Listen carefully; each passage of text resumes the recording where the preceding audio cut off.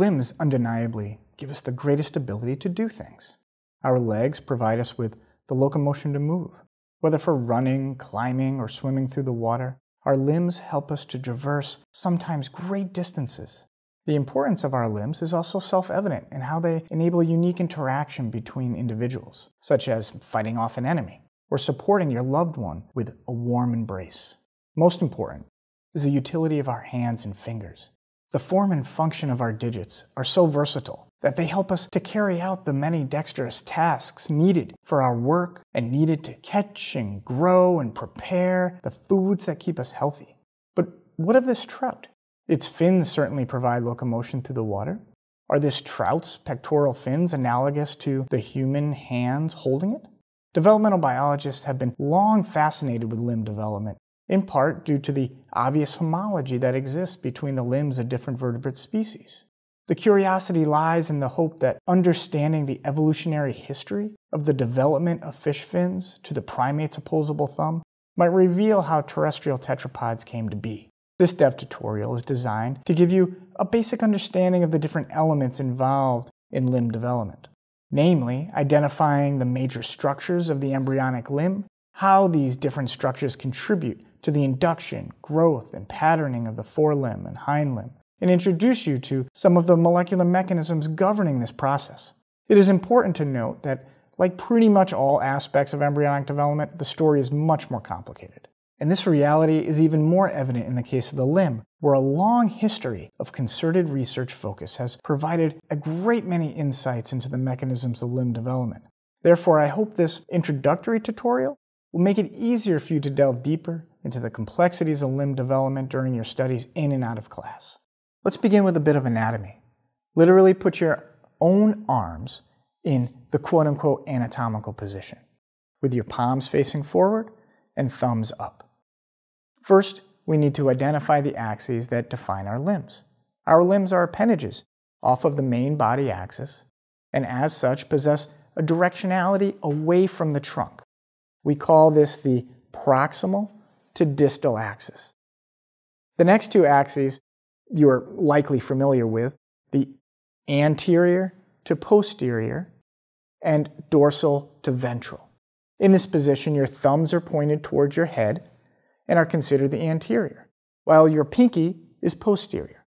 Additionally, the backside of your, your arm and your knuckles are all dorsal, and conversely, your palms ventral. Now let's go to an illustration to reveal the different elements that build the limb across these axes. The skeletal elements of the forelimb nicely delineate three morphologically distinct regions that run along the proximal to distal axis such that the humerus represents the most proximal region known as the stylopod, which is followed more distally by the zeugopod, constituting the radius and ulna bones, and lastly the autopod or hand with its carpals and phalanges, phalanges being the digits or fingers. Despite potentially dramatic differences in the skeletal elements of limbs from different species, the use of the stylopod, zeugopod, and autopod can usually be defined no matter whether it's the chick's wing, with only three digits, or the horse's hoof, which is its only remaining digit? What developmental mechanisms do you think might be influencing the establishment of distinctly different skeletal elements along a specific axis? Do you recall a similar pattern anywhere else in the embryo? And what processes governed its formation? While I am sure many could come to mind, the determination of tissue identity along an axis is profoundly associated with Hox genes. Just like the vertebral elements along anterior to posterior axis of the body, the Hox family of transcription factors also control cell fates in the developing limb. Importantly, the rule of collinearity seems to continue to operate, but along the proximal to distal axis.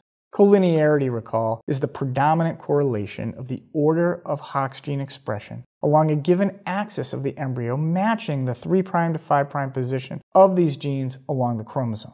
In both the forelimb and hindlimb, more 3' Hox paralog groups are expressed more proximal, whereas more 5' position Hox genes are sequentially expressed in more distal tissues of the limb. As you might predict, loss of these Hox genes lead to severe limb deformities, in mouse and humans. As in the trunk, collinear Hox gene regulation does still operate along the anterior to posterior axis of the limb. But a significant difference exists that I will elaborate on later. Now you know the type of elements that build a limb ultimately require proper Hox gene expression. Thus, the next question is what developmental mechanisms function to set up this pattern of Hox expression? To get at this larger question, I would like to describe limb development in two major events. The first being limb bud induction and outgrowth, and the second event focused on the mechanisms controlling cell fate specification in the limb. What does inducing a limb to form even mean? Well, the amazing thing about limbs is that they seemingly form from nothing. First bulges or buds raise off of the trunk in the presumptive locations of the forelimbs and hindlimbs. These limb buds continue to grow off of the trunk, after which digits begin to become visible in the distalmost portion of the elongated bud. From there, the limb continues to grow, and chondrogenesis, bone formation, muscle differentiation, and nerve and blood vessel infiltration all commence. What needs to happen for this bud to emerge and grow? Think about it. What sorts of cell behaviors would lead to an enlargement of the focal area of the epithelium? If you contemplated making more cells through proliferation, then you're right. If you thought of more cells moving into the presumptive limb field, then you are also right. Mesenchymal cells from the lateral plate mesoderm and from the hypaxiomyotome actively migrate toward the limb field to create a heterogeneous mass of proliferative bone and muscle progenitor cells. Now, important for understanding how this bud forms is knowing that the bud itself has its own anatomy. All of the axes that we identified on your own adult arms are present even in the little limb bud. It has dorsal and ventral halves, as well as anterior and posterior halves. And relative to the flank of the trunk, its proximal to distal axis extends as the limb bud grows. The limb bud can also be subdivided into three different parts of significance. The first being a structurally distinct ridge of epithelium, located at the most distal extent of the limb bud, where it perfectly bisects the dorsal and ventral halves of the bud. This structure is called the apical ectodermal ridge, or AER for short. The mass of progenitor cells building underneath the AER is called the progress zone. And the last distinct region of the limb bud is restricted to a small portion of the posterior most bud, which was identified not because of a physical distinction, but rather due to its unique functional activity. When this region was ectopically transplanted to the anterior side of the chick forelimb bud, it resulted in the dramatic mirror image duplication of its digits. Yeah, that actually happened. And for this reason, it was aptly termed the zone of polarizing activity, or ZPA. I will address the nature of this activity later in the tutorial. These three parts, the AER, the progress zone, and the ZPA, all represent regions with essential roles in the development of the limb. You just saw what the ZPA was capable of. If you remove the AER from the limb bud, it will cease to develop in a stage-dependent manner. If you replace the underlying mesenchyme of the forelimb bud with, say, hindlimb derived mesenchyme, then a leg will form instead of an arm. These results suggest that the AER is necessary for limb outgrowth and the progress zone is necessary for proper limb type specification. I will reveal at this time that each of these limb bud domains are molecularly interacting with each in a positive manner to drive the induction and sustained outgrowth of the limb bud. But where? How is the axial location of the limb bud growth initiated? To answer this question, we have to return to the trunk of the embryo. Have you learned about any powerful signaling systems that may already be operating along the, say, rostral to caudal axis of the embryo? If you have researched somitogenesis even a little bit, then you would know that retinoic acid and fibroblast growth factor 8 have opposing gradients of expression along this axis and directly antagonize each other for the purpose of forming segments. Interestingly, FGF8 is also expressed by cardiac mesoderm and the heart, which results in the graded restriction of retinoic acid activity. It is at this highest concentration of retinoic acid where the forelimb field is initiated. Currently, there is less confidence in exactly how the hindlimb field is initially determined, but we do know quite a bit about the downstream molecular mediators of limb bud initiation for both the forelimb and hindlimb regions. Like any good developmental biologist, the first step would be to find which genes show early expression in the presumptive limb bud fields.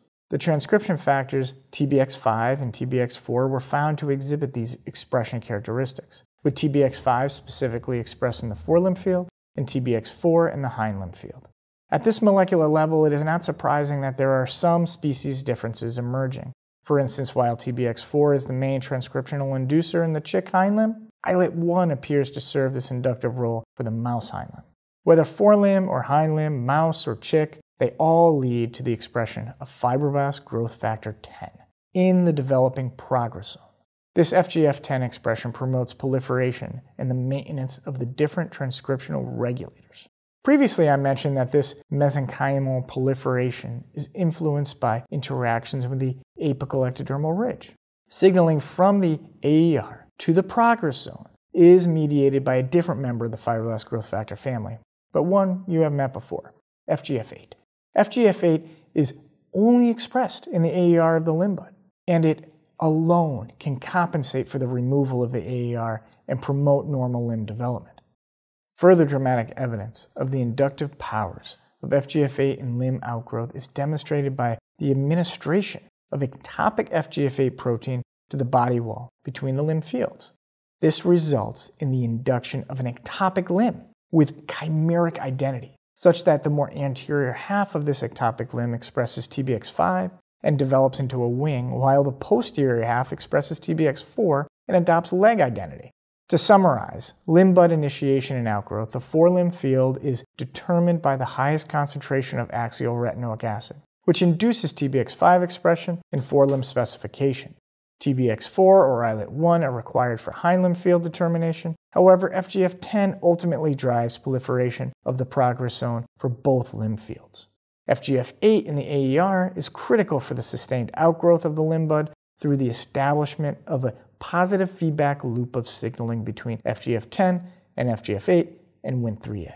Now we have made a limb bud and placed it in the correct position along the body. We still need to determine how the correct cell identities are established along the different axes of the limb. How is that sequential pattern of Hox gene expression orchestrated along these axes to build the correct elements? One important principle about developmental biology is that it's kind of like a broken record, but broken in the right way.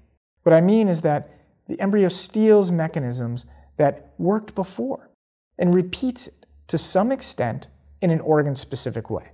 In the case of the limb, the embryo has co opted the mechanisms of known morphogenic signaling systems. The antagonistic relationship of retinoic acid and FGF8 that we referred to earlier in the trunk is replicated along the proximal to distal axis, while the limb utilizes a posterior source of sonic hedgehog for anterior to posterior fates, and then Wnt's and BMP morphogens for the differences between dorsal and ventral development.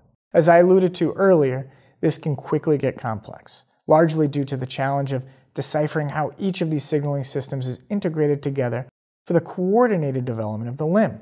While you keep that reality in mind, for simplicity, I would like to still explore each of these mechanisms in more detail, but as separate parts. As a limb bud grows, cell fates along the proximal to distal axis are predominantly influenced by a proximal source of retinoic acid from the trunk and the opposing distalmost expression of FGF8 from the apical ectodermal ridge. The model posits that these opposing antagonistic signals establish two critical thresholds of specification, resulting in differential Hox gene expression. Two independent groups showed in an ectopic limb grafting paradigm that the administering of retinoic acid was capable of promoting more proximal cell identities, while adding FGF fostered only more distal Hox gene expression. How are anterior to posterior fates determined? Well, do you recall that amazing ZPA transplant experiment that caused the mirror image digit duplication? That has everything to do with understanding anterior to posterior cell specification. This ZPA results presented a perfect opportunity to apply our developmental bio experimental design of find it, move it, and lose it. Sonic Hedgehog was discovered to be solely expressed in the ZPA domain. Have you been acquainted with the function of the Sonic Hedgehog protein before this tutorial? Can you recall another part of the embryo where Sonic Hedgehog influenced cell fate determination? Sonic Hedgehog is one of the most well-known morphogens for its role in the developing spinal cord, where its spatial and temporal graded secretion leads to differential gene expression along the ventral to dorsal axis of the neural tube. Misexpression of sonic hedgehog on the anterior side of the limb bud produces the very same mirror image duplication, suggesting sonic hedgehog is sufficient for the activity of the ZPA. Amazingly, natural mutations in a sonic hedgehog enhancer were found in mouse, cats, and humans that all caused the similar misexpression of sonic hedgehog on the anterior side of the limb bud. Consequently, these individuals show digit duplications. These results support the notion that sonic hedgehog is also functioning as a morphogen in the limb bud. Increasing the concentration of sonic hedgehog on the anterior side ends up inducing posterior digits with a gradation to the middle of the autopod, thus creating a mirror image duplication. Does sonic hedgehog influence Hox gene expression along the anterior to posterior axis? Remember I mentioned Hox collinearity does apply to this axis, but there was an important difference. That difference is due to the effects of sonic hedgehog signaling on a different Hox cis regulatory enhancer element. These sonic hedgehog responsive global control region enhancers are found on the 5' side of the HOXD cluster of genes, which cause an inversion in HOXD expression patterns. It literally flips the HOX gene expression along the anterior to posterior axis in the late limb bud. The interaction of sonic hedgehog signaling with the HOXD cluster was demonstrated with careful combinatorial genetic experiments by showing how 5' HOX genes functionally interact with the downstream sonic hedgehog transcription factor Gli3 to influence digit number in a dose-dependent manner. The last axis of specification to attend with is along the dorsal to ventral axis. There is a clear difference between the two sides of the axis with knuckles and foot pads developing on the dorsal and ventral sides of the mouse paw respectively. It was discovered that loss of the transcription factor LMX1B resulted in a transformation of the mouse's knuckles into duplicated footpad on the presumptive dorsal side. This was an amazing transformation of cell fates due to this one transcription factor. Predictably, LMX1B is normally only expressed on the dorsal side of the limb bud. LMX1B is induced by the dorsally restricted Wnt7a in the apical ectodermal ridge whereas mesenchymal bone morphogenic protein signaling appears to be promoting ventral fates in the limb bud. As I warned you earlier, all of these different signaling systems about every axis are intimately interacting with temporal dynamics to coordinate limb bud initiation, growth, differentiation, and ultimately its termination. I really have not spent much time discussing the many ways in which BMP signaling influences limb development like its celebrated role in triggering the programmed cell death of interdigit cells to remove the embryonic webbing between fingers. A property of BMP signaling in the autopod that is inhibited by gremlin in the duckfoot to maintain its webbing for paddling in the water. Although it is an important feature of BMP signaling, I decided to wait until the end of this tutorial to bring up BMPs so that you remember they are responsible for stopping limb bud outgrowth. BMPs function to inhibit FGF8 in the AER, which, like in the duck's foot, is kept in check by mesenchymally expressed gremlin. Gremlin expression is upregulated by sonic hedgehog, and the early positive feedback loops between FGF8, Wnt3, and FGF10 and sonic hedgehog all lead to the continued propagation of the limb. However, as the expression of FGF8 climbs to a higher concentration, it hits a threshold for gremlin downregulation. Therefore, as the limb bud grows, gremlin expression decreases, as well as physically becomes gradually distant from the AER, which reduces gremlin's repression of BMP, freeing BMP to inhibit FGF8 and putting the brakes on limb bud outgrowth. It is perhaps easy to imagine the morphological connections between the development of the chick and duck autopods, perhaps even their connection with the human hand. Yet more obtuse is seeing the evolutionary history that led to the emergence of tetrapod limbs. Have you noticed the images of the developing fish fin in the background? We began this dev tutorial highlighting the functional advantages limbs provide to humans and fish alike. Now there are obvious differences between fish fins with its rays and the human limb lacking rays but possessing these digity things. Nevertheless, is it possible that today's terrestrial vertebrates are derived from an ancient aquatic creature that up and walked out of the water? Here's where I would cue Tiktaalik to walk on the stage if it were living.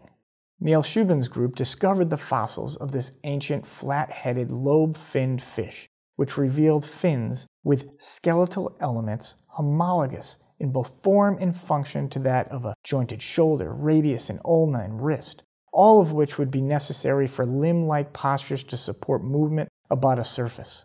Phylogenetically, Tiktaalik sits right at the transition between fish and primitive tetrapods. This was one of the greatest discoveries to fuel our understanding of tetrapod evolution.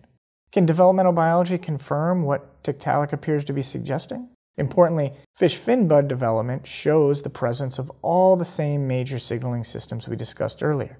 The FGF, sonic hedgehog, and BMPs, all similarly positioned in time and space, as is the same proximal to distal Hox gene correspondence.